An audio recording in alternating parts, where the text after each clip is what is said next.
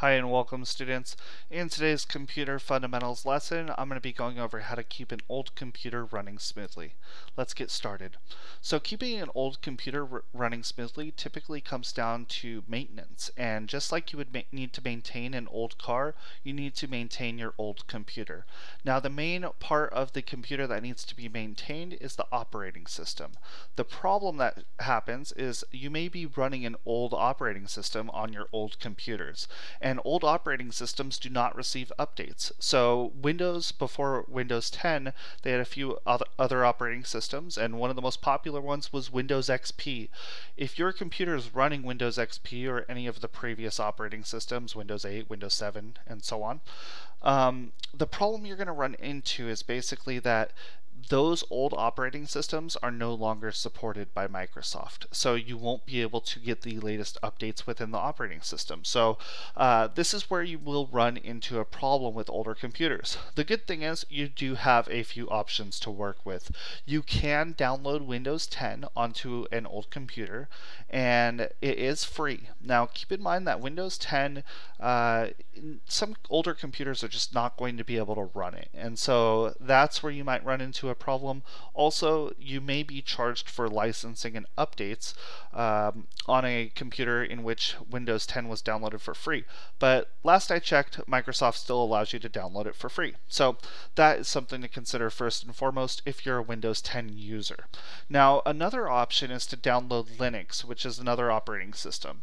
The problem comes that or the problem is basically that you might not be familiar with Linux. And so if you haven't been using Linux before, you might find it difficult to learn. Luckily, there's plenty of tutorials out there to learn Linux if you're interested in trying out a new operating system.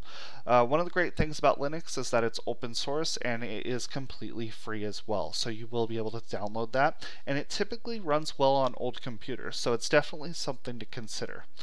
Um, now, the next most important part is securing your computer. You'll want to make sure that you have antivirus on your computer, especially if you're running an old operating system. So if you're running Windows 10, you can use something like uh, Windows Defender, which comes with the operating system as your main source of antivirus, anti-malware, and firewall programs. But if you are using an old operating system, you will need to download something to uh, protect against those internet threats. Also, browsers. Uh, please do not use Internet Internet Explorer on an old computer. Um, Internet Explorer typically runs very slow, and you will uh, you'll be better suited to run something like Firefox or Chrome on those ones. I recommend Firefox. I use that um, as my main internet browser. Next up, maintaining your computer. You do want to shut down an old computer periodically. It's something that you're going to want to do every week or every uh, day if you want as well. Just shutting it down will help. Next, uninstalling programs. Programs obviously take up a lot of space.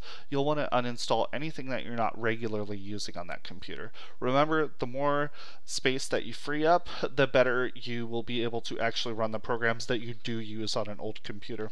Finally, disabling programs on startup.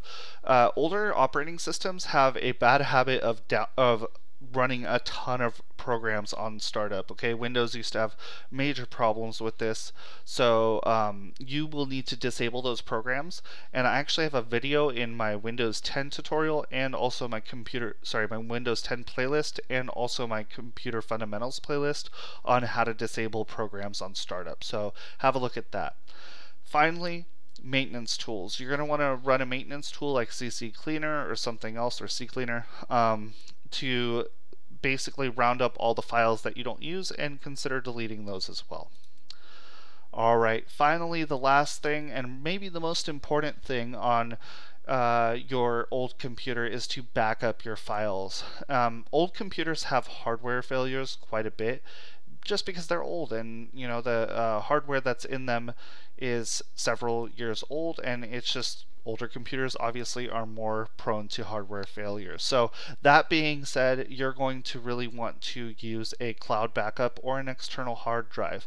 I have plenty of videos on OneDrive right here, which is Microsoft's uh, cloud backup, and you can back up pretty much all your files on OneDrive as long as you don't have anything that's really, really big like pictures or um, videos, that type of stuff. That might be better suited for an external hard drive, which you could plug into your device and um, you know put all your files onto that so just depending on which way you want to go on that um, I have plenty of videos on OneDrive if you are unfamiliar with it how to set up an account, how to sync it up with your computer, and how to automatically back up your files to OneDrive. And that can be found in my Windows 10 playlist. Finally, external hard drives. Those are really good because um, as long as you keep that external hard drive safe and away from you know things like uh, uh, like a like water damage and that type of stuff, then those are really good because they can hold typically a lot more uh, storage, a lot more space. They have a lot more space than something like OneDrive's free version. So something to consider there as well. So anyway, I hope this uh, lesson has taught you a little bit more about how to keep your old computer running smoothly. If it has, please give it a thumbs up and consider subscribing to the channel. I have plenty of playlists on Word, Excel, uh, Access, PowerPoint, Publisher, and Outlook, as well as Windows 10 and Computer Fundamentals. So if you want to learn more about any of those things, please check out the playlists on my channel. They are ranked in easiest to most difficult to learn, so it should just be a pretty easy run through if you want to learn more about those things. Thank you for watching and have a great rest of your day.